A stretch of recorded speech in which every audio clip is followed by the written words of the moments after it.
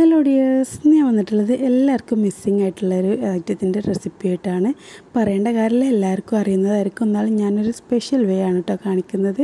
അപ്പോൾ എല്ലാവർക്കും ഇഷ്ടപ്പെട്ടുള്ള നല്ല ക്രിസ്പി ആയിട്ടുള്ളൊരു ഫ്രഞ്ച് ഫ്രൈസിന്റെ റെസിപ്പി ആയിട്ടാണ് വന്നിട്ടുള്ളത്. അപ്പോൾ ഇതുണ്ടാക്കാനായിട്ട് നല്ല സിമ്പിളാണ് അപ്പോൾ പെട്ടെന്ന് ഉണ്ടാക്കാനായിട്ട് നല്ല ക്രിസ്പി ആയിട്ട് കിട്ടുന്നുണ്ട്. ഇത് കണ്ടതിന്റെ സൗണ്ട്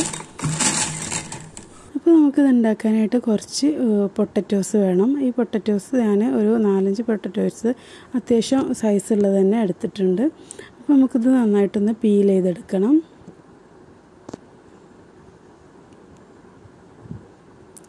അപ്പോൾ ഞാൻ പീൽ ചെയ്തെടുത്തിട്ടുണ്ട്. ഇനി നിന്ന് വാഷ് ചെയ്ത ശേഷം ഇതുപോലെ സ്റ്റിക്സ് ആയിട്ട് കട്ട് ചെയ്തെടുത്തു.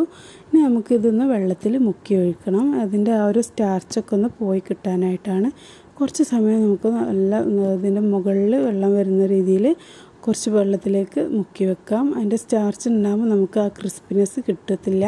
അപ്പോൾ ആ വെള്ളം ഒരു ഒരു കഞ്ഞിവെള്ളത്തിന്റെ ഒക്കെ ഒരു കളറ് കുറച്ചൊരു വൈറ്റ് കളറായിട്ട് വരും. എന്നിട്ട് നമുക്ക് അതൊന്ന് മാറ്റിയ ശേഷം കുറച്ച് വെള്ളം ചൂടാക്കിയിട്ട് അതിലേക്ക് കുറച്ച് ഉപ്പ് ഇട്ടിട്ട് ആ തിളച്ച വെള്ളത്തിൽ ഒരു ഹാഫ് വേവാക്കി എടുക്കാം ഹാഫ് വേവാക്കി വെച്ച് ഒന്നൊരു വെള്ളം കളഞ്ഞ ശേഷം നന്നായിട്ട് ഒരു ഉണങ്ങിയ തുണിയിലിട്ട് ഒപ്പിയെടുക്കണം ടിഷ്യൂ പേപ്പർ കൊടുക്കുക എന്നിട്ട് ഒരു കണ്ടെയ്നറിലേക്ക് ഒരു മൂടിയൊക്കെ ഉള്ള കണ്ടെയ്നറിലേക്ക് ഇട്ടിട്ട് രണ്ട് ടേബിൾ സ്പൂൺ കോൺഫ്ലോർ ഇട്ട് നന്നായിട്ടൊന്ന് ഷേക്ക് ചെയ്യുക. കുറച്ച് നമുക്ക് ഫ്രിഡ്ജിലും വെക്കാം കുറച്ച് നമുക്ക് എടുത്തിട്ട് ഫ്രൈ ചെയ്യാം നമുക്ക് എപ്പോഴാണോ വേണ്ടത് അപ്പോൾ നമുക്ക് ഫ്രീസറിൽ നിന്ന് എടുത്തിട്ട് ഫ്രൈ ചെയ്തെടുക്കാവുന്നതാണ്. അപ്പോൾ നല്ല ക്രിസ്പി ആയിട്ട് തന്നെ കിട്ടും. അപ്പോൾ നമ്മൾ ഇൻസ്റ്റന്റ് ആയിട്ട് തന്നെ നമ്മൾ ഫ്രൈ ക്രിസ്പി ആയിട്ടുള്ള ഫ്രഞ്ച് ഫ്രൈസ് ഉണ്ടാക്കി കഴിച്ചിട്ടുണ്ട്. അപ്പോൾ എല്ലാവരും ഒന്ന് ട്രൈ ചെയ്ത് നോക്കണേ.